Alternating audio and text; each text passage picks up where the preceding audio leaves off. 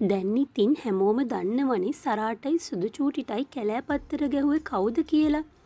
ඒ තමයි සුරංග. ඒ කොහොම වනත් සරා කැකුලා එක්ක තියෙන ඇරියස් එක තාම ඉවර නෑ. සරාට ඉතින් කැකුල එක්ක අතින් පයින් හැප්පෙන එක නම් ගේමක් නෑ කියලා අපි කවුරුත් දන්නවනේ. ඒත් කැකුල ළඟ පිස්තෝලයක් තියෙන එක තමයි සරාලට තියෙන ලොකු මවුල. දැන් ඉතින් මනමාලන් සරාල එක්ක කොහොමත් ෆිට්නේ. ඒක තමයි දැන් සරාලට තියෙන ලොකුම වාසිය. මොකද කුකුලගේ ගෙදර වෙන දේවල් වගේම කැකුල ගැන විස්තරත් මාලන්ගෙන් දැනගන්න පුළුවන්නේ. කොහොමත් ඉතින් මනමාලන්ටත් ඕනි කැකුලගේ සෙට් එක කොහොමහරි කුකුලගේ ගෙදරින් පන්නල දාන එක. ඒ කොහොම වනත් කුකුල මුදලාලිටත් කැකුලගේ ළඟ පිස්තෝලයක් තියෙන එක වදයක් වෙලා තියෙන්නේ.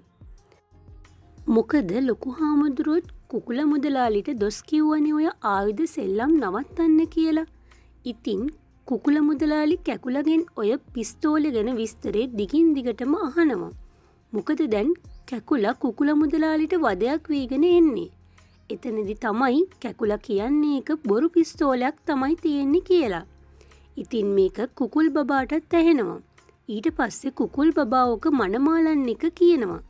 එතනින් තමයි සරාල දැනගන්නෙත් කැකුල ළඟ තියෙන්නේ බොරු පිස්තෝලයක් කියලා. ඉතින් දැන් කොහොමත් සරාලට වැඩේ ලේසි.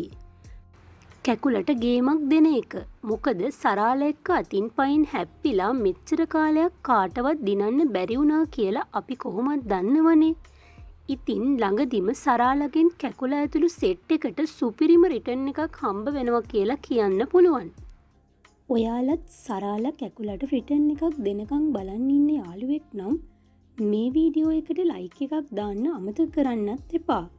ඒවගේම නාඩකම්කාරයෝ ඉස්තරහට වෙන තව අලුත් දේවල් ගැන දැනගන්න අපගේ YouTube නාලිකාව සබස්ක්‍රයිබ් කරන්න කියලත් ආදරෙන් ඉල්ලනවා.